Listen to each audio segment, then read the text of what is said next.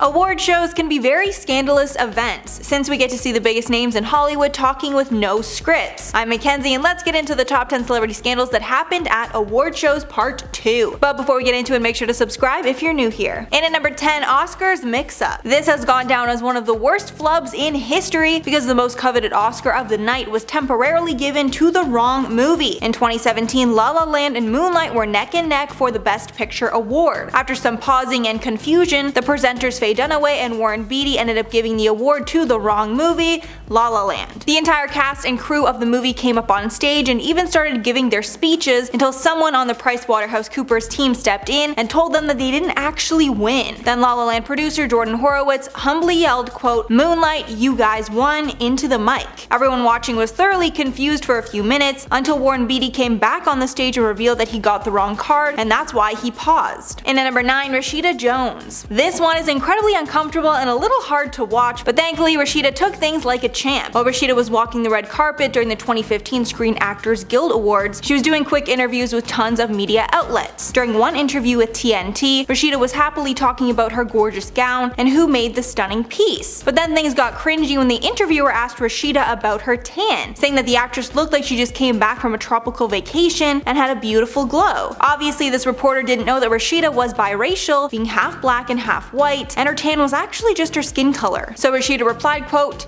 you know, I'm ethnic, to which the reporter tried to laugh it off. And at number 8, Natalie Portman. Natalie Portman raised eyebrows when she called out the Golden Globes on the nominees for the Best Picture award. After Oprah gave a legendary speech about injustice and equality at the 2018 Golden Globes, it seems that Natalie Portman was inspired to call out injustice. While presenting the award for the Best Picture category, Natalie said, quote, and here are the all-male nominees. Even though it was subtle, one word made all the difference to get the point across. Her co-presenter laughed it off awkwardly. Even more awkward were the faces of the directors while their names were being listed off, but you could see some celebrities in the back happy that Natalie made that statement. And at number 7, Reese Witherspoon. Reese Witherspoon took some major shots at the Kardashian clan, specifically Kim, while she was accepting an MTV Movie Award in 2011. During her speech, Reese took the time to bash some of her Hollywood counterparts. She told young girls watching that it's possible to make it in Hollywood without a reality show, and if you weren't sure exactly who she was talking about, Reese piled the hate on thicker and added that back in the day an explicit tape would have been something to be embarrassed about, but now it's something that helps women rise to fame. Basically saying that you can be a good girl and still make it in the business. TMZ actually caught up with Kim and asked her about Reese's speech, to which Kim replied that she loves Reese, clearly taking the high road. In at number 6, Bradley Cooper and Lady Gaga. The whole world fell in love with Lady Gaga and Bradley Cooper when they were starring in the movie A Star Is Born. The best part was that Gaga was not even a seasoned actress, so it made everyone think the on-screen chemistry between them was more than just acting. The rumors about these two got even crazier when the pair performed a ballad from the movie at the 2019 Oscars, and the chemistry between these two was hard to deny. Lady Gaga had also recently broke up with her fiance, Christian Carino, around this time, leading many to think it was because of jealousy. And then during their performance, Bradley's longtime girlfriend Irina Shayk was sitting in the audience, which made things even more awkward, especially since Irina and Bradley split shortly after this. Halfway number 5, Kanye West. There's no way I can make this list without including the infamous incident where Kanye interrupted Taylor Swift's acceptance speech. At the 2009 MTV Video Music Awards, Taylor snagged the award for Best Female Video for the song You Belong With Me. Beyonce was also up for the award for her music video Single Ladies. After Taylor won, Kanye West didn't feel the win was well deserved, so he came up on stage and told the world that Beyonce had one of the best music videos of all time. The crazy interruption would go down in history for all the wrong reasons, and the now infamous line, quote, Taylor, I'ma let you finish, will be meme till the end of time. Taylor spoke about the incident after the fact, saying, quote, I was standing on stage and I was really excited, then I wasn't excited anymore after that. And at number 4, Steve Harvey. While Steve Harvey was presenting the awards at the Miss Universe pageant, he made a terrible mistake. In 2015, the show was going along very well, and Steve was going to present the winner of the pageant. It was between Colombia and the Philippines. And instead of saying the first runner-up, which is customary for those award shows, Steve went straight to the winner, announcing Colombia had won, when in reality, Colombia was actually just the first runner-up in the competition. After Miss Colombia was given the crown and the sash, and a few moments to soak in the glory, Harvey came back to stage to reveal a terrible mistake. All he had to say was that Colombia was the first runner-up, it was clear to everyone Miss Philippines was the real winner, and the rest of the show was so awkward it was honestly hard to watch. And at number 3, Jennifer Lawrence. Jennifer Lawrence is beloved for her hilarious and quirky personality, and even though she's one of the highest paid actresses in Hollywood, she's still one of the most klutzy celebrities ever. She cemented this in the eyes of the world when she tripped while walking up to the stage to accept her Oscar for Best Actress in 2013. After she got up to the stage, the crowd gave her a standing ovation, and she said, quote,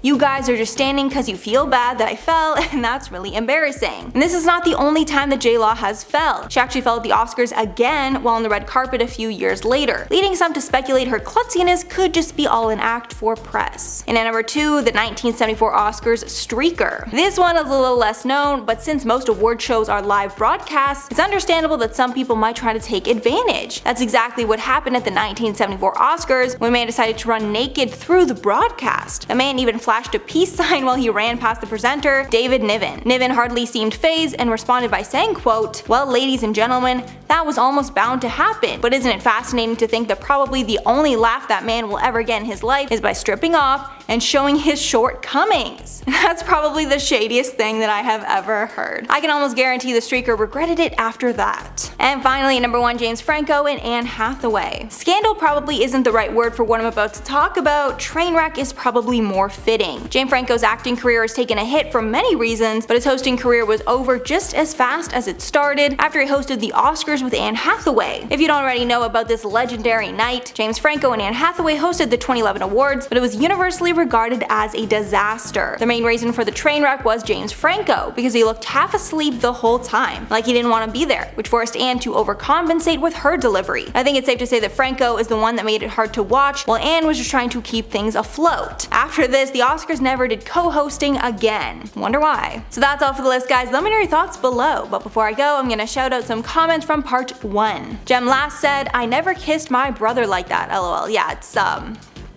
Hopefully no one kisses their brother like that. Very, very strange. Then someone else said, I wouldn't mind where I got the kiss from Ian Somerhalder, I would jump at the chance. Oh yeah, he is like perfection. I don't even think there's like a more beautiful person. Like everything about him, yeah, no, he is Chef's kiss. Then Rose said I'd also have kept the Broken Award as KS wanted. It was a once in a lifetime moment to be remembered. Yes, Kristen Stewart was definitely right for wanting that award. That's so cool. Like it's, yeah, it's just a once, you know, in a lifetime, not, most people don't break their award, thankfully, but it's like a cool story. Like, oh, when I won my first award or whatever it was, I actually broke it. It's just like a cool thing, you know? Alright guys, that's all for the video today. Thanks so much for sticking around if you made it all the way here. If you liked the video and want to see more, make sure to like and subscribe to the channel below. I've been your host, Mackenzie Smith. Make sure to check us out on social media and I'll catch you all the next one.